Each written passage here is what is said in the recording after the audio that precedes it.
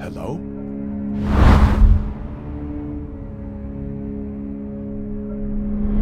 You need to be quiet.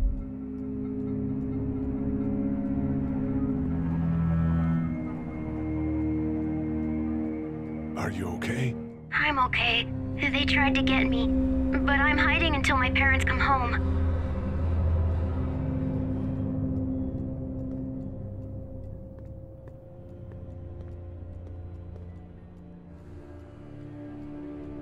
What's your name? I'm Clementine. This is my house. Hi, Clementine. I'm Lee. Where are your parents? They took a trip and left me with Sandra. They're in Savannah, I think. Where the boats are?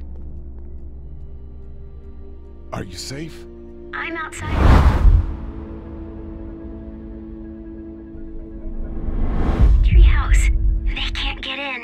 That's smart. See? Can you see me? I can see you through the window.